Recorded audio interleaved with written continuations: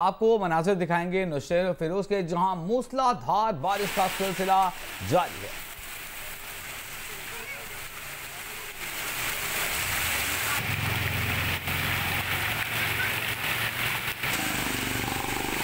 नौशेर फिरोज से आप ये मनाजिर देख रहे हैं, जहाँ पर मूसलाधार बारिश का सिलसिला जारी है। अगर कराची की बात की जाए तो वहाँ पर कल से जारी बारिशों के फ़िलहाल थमने का कोई इम्कान नहीं है।